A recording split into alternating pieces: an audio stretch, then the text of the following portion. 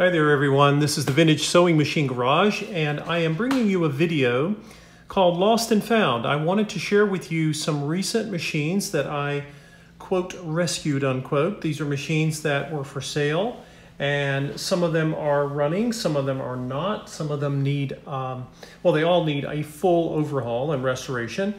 And I wanted to kind of just give you an overview of some of the machines I'm going to be working on and then you guys can be looking for these when I get ready to make videos on them when the restoration is completed. And uh, some of these will inspire specific videos on restoration techniques. You guys have seen me do videos before uh, uh, talking about how to overhaul a machine. I'm going to try something a little different and do them with certain areas. Um, I'm going to make installments of the videos and uh, I've got a new small tripod here, so I want to see if we can improve the stability of these videos and give you guys some information on what I consider to be common, common things that I typically find in sewing machines. So I just want to kind of go over a few of the models and why I picked them and some of the things that I, that I fully expect to do to these machines before they're ready to be sold and uh, put into the hands of people who really want to sew. The one you're looking at now is a very early Singer Class 15 machine. Uh, I've checked the serial number and it is circa 1904, so about 115 years ago. This machine, cast iron, heavy as, heavy as a log, was produced. And it, of course, very subtly, this is, this is very tarnished brass, but here's the Singer uh, emblem. And this machine, because it was made in 1904, uh, she's covered in dust right now, but of course that'll change. Uh, this machine does not have back tacking. Remember, machines originally, um, this would have been set up in, in a treadle table, and machines did not have back tacking. You could adjust the stitch length, and that's what this little uh, screw here is. You loosen it and you move it. Now, I'm not forcing it because right now, as I loosen this knob, I literally just got this, it's not moving. And that doesn't mean it's broken, it just means it's it needs to be gone over. One of the things I may have mentioned to you folks before is when I first get a machine, I'm always very cautious about just trying to run it and sew on it. I look at the machine, I start touching it, I start moving, seeing what will move, what will not, and very carefully and gently begin sort of uh, diagnosing the machine, if you will. For example, I just set the foot down and I noticed that uh, it went down slowly. That's probably due to old machine oil. And the foot presser spring may be uh, a little tired. It may need some work. But it looks like all of her parts are there. This machine may go back into a treadle. I suspect it will. It does not have the, uh, the hole bored in the side. And what that tells me is that this machine was never one of those that got converted to electricity in the 20s and 30s. but I was drawn to it because it is remarkably tough.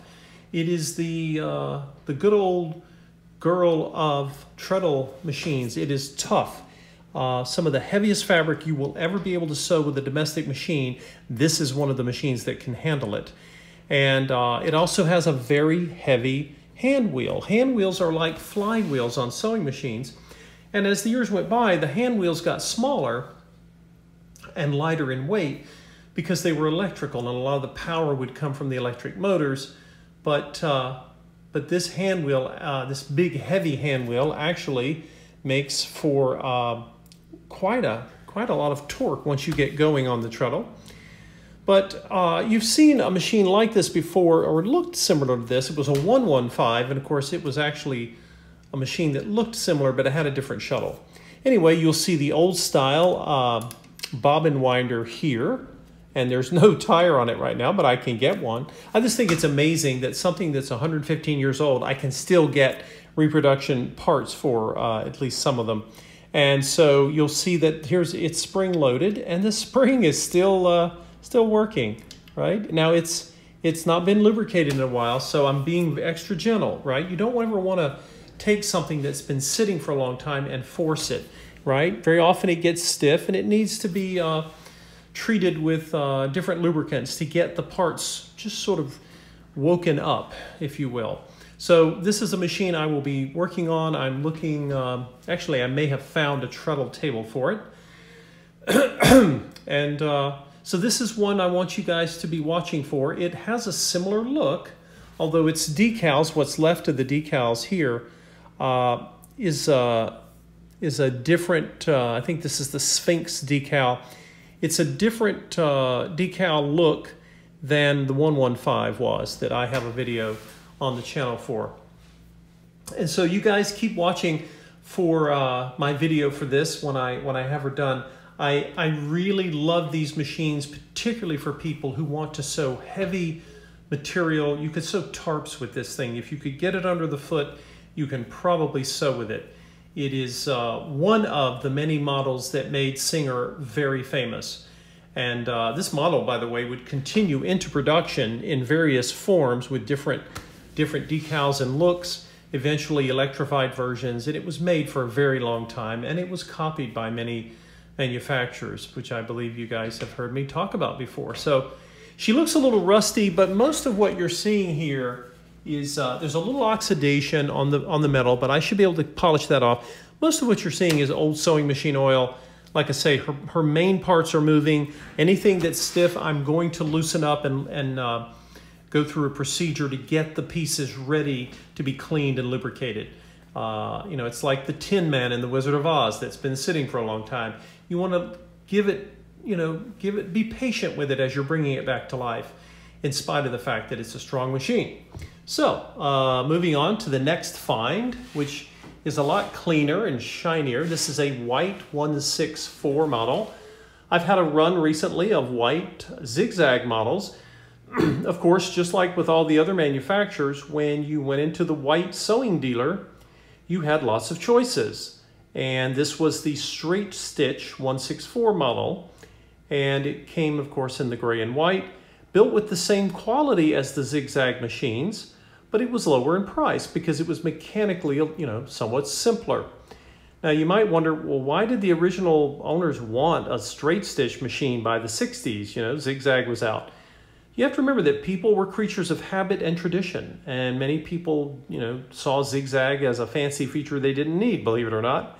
Uh, but this machine is a great example, guys, of when you find a used sewing machine that looks like a good candidate, one that you might want, and it's very clean. And I mean clean as in almost never used. Um, and of course, it was in a carrying case, and I could tell it was kept indoors all of its life, not in a basement or a garage.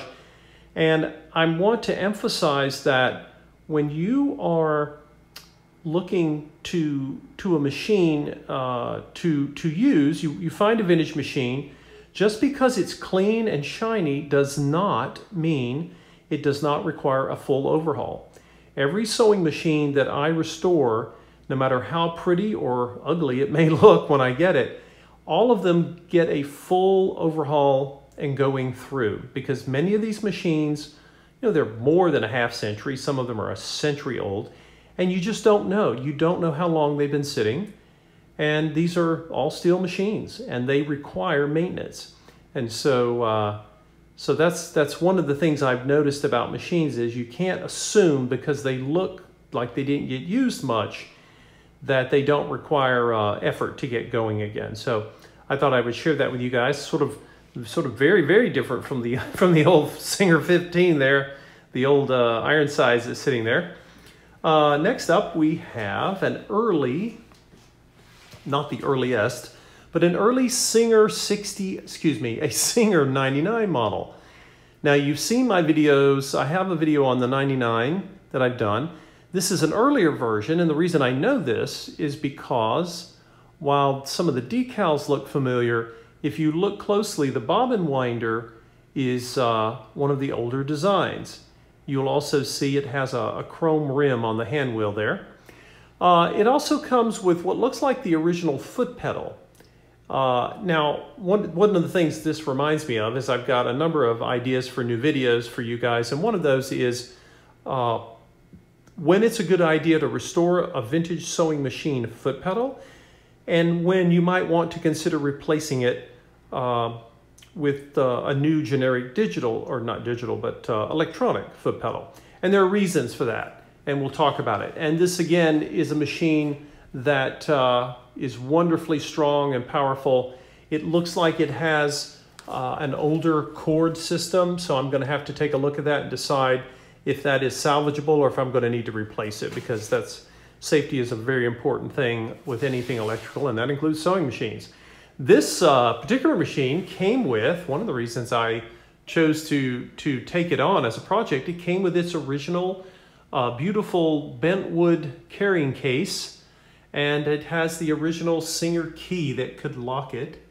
Um, back in the day, other than the featherweight, this would have been considered uh, uh, the most one of the most portable machines you could get if you want to call them portable.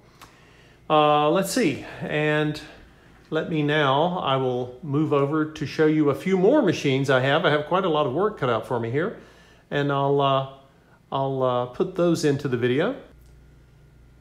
Next up, folks, is a Necchi BCJ.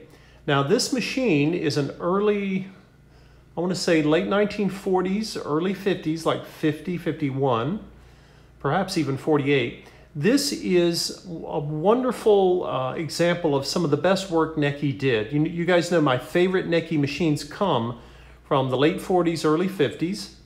And one of the great things about them is that they are built with uh, an incredibly heavy, uh, heavy specification for a home sewing machine.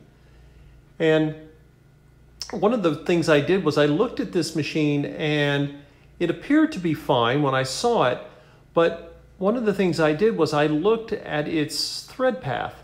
And as I was following along, I realized that there was a thread guide missing on the um, needle bar.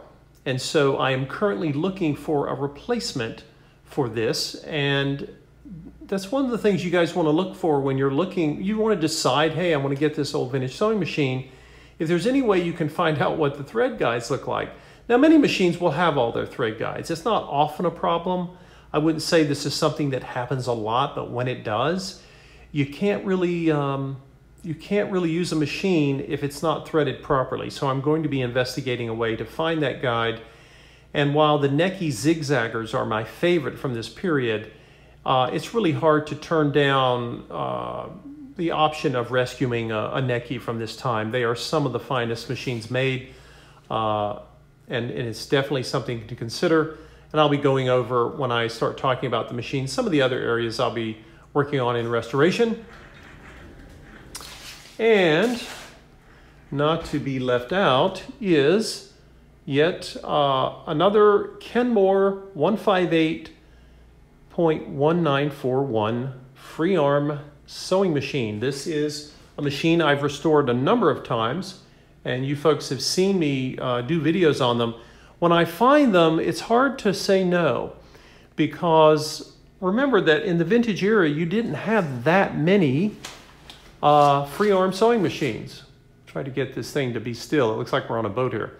Um, and this one came to me, someone has apparently tried to uh, take a look at the uh, thread tension assembly and they've taken it apart and possibly they were having issues with thread tension. Uh, unfortunately, they took it apart and left it in kind of a pile. And it's in a bag here. You guys can see that. And with some bobbins and things. So I'll be taking a look at it. It's possible that it wasn't broken, but they were trying to fix it. If I can't get it to work, then I will be looking at finding a re replacement. Kenmores are known to be really uh, user-friendly with tension. They're not commonly machines that have issues with tension. And this machine came to me missing its thread spool pins up here, up top. So I'll uh, talk a little bit about how to, to save a machine that's missing its spool pins, because you're definitely going to need those. But uh, this again is one of the machines that Sears uh, commissioned from the Maruzen Company in Japan, and they were basically looking for uh, a machine that could compete with Bernina. And I'm going to uh, ask you guys at some point if you think one of these specific machines, these wonderful free arms from this is like early to mid 70s, and they are some of the last of the all metal machines ever made. See if you think that they can really uh, hold a candle to Bernina, uh, because these were Sears. Uh, this was Sears' attempt to have a machine like a Bernina for sale. Okay, and last but not least, I have. I've been promising you folks that I'm going to do some new videos on the white rotary. Uh, some of you have these machines and they might be called Kenmore rotary. They might be called Franklin or Sears rotary. You will also see names like Dressmaster. And there are a few others, but they were all made in Cleveland, Ohio by the White Sewing Machine Company. And as I've mentioned before, White was a big producer. They weren't small like a lot of the companies. They were second only to Singer. And this, this particular type of machine, whether it's the White or the Kenmore, uh, these are some of the most unloved, underappreciated sewing machines I think I've ever come across. And I did a, a survey on YouTube to see, okay, uh, is you know, uh, you know what's out there, and some people have done some really nice videos on these. But I wanted to, to add, because there's not a lot of information out there, and I suspect there are many of you who have these machines and you want to use them, but you've gotten stuck because there are some common troubleshooting issues with them. It's not the machine's fault. Actually, the machines are built like tanks. When I say they're underappreciated, I really mean that. They are some of the best machines ever made, uh, and they, they sold in very large numbers. But uh, I'm going to be covering things, uh, sort of sharing with you folks, things that range everywhere from what to look for, uh, ways to troubleshoot these machines. We're going to talk about the motors. Some of you have had questions about these motors. Uh, they typically look like this that you see here. Uh, we're going to talk about how to overhaul one of the motors and, and make sure that it's ready to sew again. There's some of the the strongest motors ever put on vintage machines, and they are uh, beautifully simple uh, to get access to. Uh, and that's not a surprise. This is probably uh, late 1940s, I'm going to guess, when this was made. And uh, I will be going over some of the some of the things you might want to look for when you are looking at a, a rotary machine. One of the things that's typical, and I took this off to show you all, is that very often, this is called the bobbin plate, and very often they're missing. They're missing from the machine because they, they come off easily, which is great when you're trying to take it out, but, uh, but you can get replacements for these. So if you get one of these machines and it doesn't have the plate, it's not a loss. You can get a replacement. Uh, I bought this machine and saw immediately that it was missing it was missing a, uh, a knob just like this that goes on this uh, reverse stitch lever. And I can get one. I can find a used vintage part for it, which is great. One of the things I'm also going to be doing, I'm going to create more than one video on this machine, and I'm really going to try to focus in for you folks on things like threading. So when I'm showing you this machine, it literally, I haven't started work on it. This is kind of how I found it. It was threaded up top. And uh, I'm going to pull this out for you.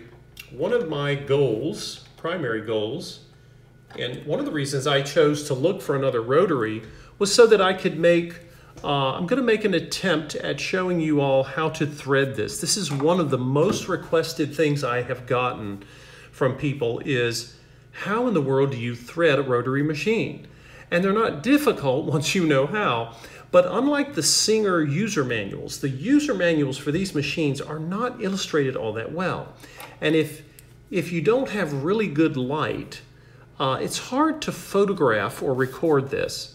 So I'm not doing this today, but I wanted to show you guys. I want to be able to record and show you how to properly thread one of the bobbin cases. This is the bobbin case for the machine. And also how to thread the, the uh, machine itself how to take the feet off. It's actually, like I say, it's a beautifully simple machine to oil, to maintain, to thread, but it works differently. Uh, another thing that's different, of course, is that the hand wheels uh, rotate away from you instead of towards you, which is true uh, for the singers. or I should say is opposite on Singers. And so again, these machines are built like tanks. And I, and I honestly, when you look at what machines, um, when you, when you go to buy them, they are they're everywhere, but they are not as well known as Singer machines. And I just think, uh, you know, I've used these before. I've restored them and I've sold them. They make amazing stitches and they are strong. I mean, tractor strong machines. Uh, and they're not difficult to find parts for because again, they were sold in very large numbers. And so uh, again, the fact that it was missing a knob, I didn't didn't hesitate at all. I, I know I can find one. But the main reason I got this, uh, in addition to the fact that some of the best sewing tables ever made were, were made for the White and the Kenmore machines, uh, is I wanted to be able to video uh, particularly setting the machine up and threading it because that's one of the uh, one of the, the the most common questions I get. And then the other one will be how to uh, uh, clean and or replace the rubber pulley or the rubber motor pulley. Here's a close-up shot of what I was mentioning, folks. Of course, this machine is um, uh, the example that White, the White company had for a machine that would be without uh, belts. It is beltless, right? It uses a pulley with a, with a rubber bushing on it and these, uh, very often they work just fine, but they can be replaced. And there are places to get uh, the replacements and putting them on is not hard. And I'm going to show you guys how. So the, again, there will be a series of videos on, on this rotary. Uh, but again, I wanted to, to, to purchase this specifically because I just think there are not enough videos on YouTube showing people how to use these machines. And uh, it's a fantastic machine to have. Many of you may have may have one in your family, or you may know someone who who who who is trying to sell one, or even give it to you. But um, they are, like I say, they're one of the most misunderstood and underappreciated machines that I've ever come across. So there you have it, guys. These are some of the machines that I'm going to be making videos on, and I wanted to kind of give you a heads up on what uh, I'm going to be working on as we go into the spring. A few other ideas I've got for videos, and I'd love to get your feedback. Let me know uh, in the comments section down here if, um, if some of the ideas I'm sharing with you look like uh, videos you'd like to, to have me make. Uh, one, a couple of other ideas I've got is what I call troubleshooting, common reasons why vintage sewing machines uh, won't work. You know, you get stuck, there's some kind of malfunction, and we'll talk about the most common reasons.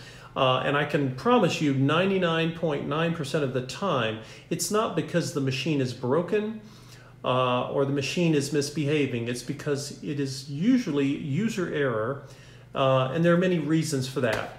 Uh, even from people who are experienced sewers, because you still have to know the machine quite well. So we're going to talk about that. That's that's one video also that will be coming up. Another one, as you can well you can see here, uh, the picture of this beautiful table. Uh, this is a table that was common to White and Kenmore's.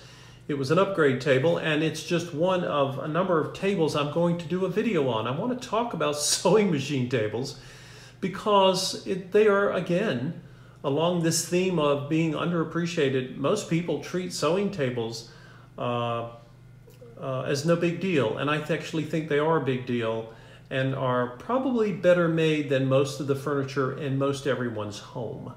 Uh, and I know that's a bold statement, but I, I, believe it's true. And, and I'll be talking about that in one of my videos. And then I'm going to be discussing with you all uh, another, another topic that often comes up, which is the term industrial. I want to discuss uh, the term domestic versus industrial when it comes to sewing machines. A lot of people make claims online about what is industrial and what is industrial strength, and I want to kind of clear the air and set that straight. It's, it's, uh, I mean, it's, it's not really a controversy. There are domestic or home sewing machines, and there are industrials, and there are clear and distinct differences, and we're going to talk about those. And uh, again, I wanted to sort of share with you the video ideas I have coming up. If you have a specific idea for a video you would like to see that I haven't made, and I haven't talked about here, let me know. Put it down in the comments section. And uh, I guess this, this video is kind of a coming attractions. I wanted to kind of lay out for you folks what, what I have in store for at least early spring. And let me know if there's uh, uh, an idea you have for a video that, that I haven't discussed so far. Let me know and we will uh, we'll work uh, and do our best to, to, to get something set up for you. Thanks everyone for watching. I so appreciate your support of the channel. And uh, this channel was originally created simply to, uh, to have a place to post videos for the machines I was restoring and selling. And it has, it has uh, blossomed into something far greater than what I had imagined. And uh, it looks like I'm going to be expanding the channel because uh, we're, we're getting a lot more interest than what we originally hoped for. So thanks so, so much to all of you and uh, feel free to subscribe to the channel and you can get notifications from YouTube when I am posting new videos. And now you have an idea of some of the uh, videos that I'm going to be working on and bringing to the channel soon. So stay tuned and thanks for watching folks. Bye-bye.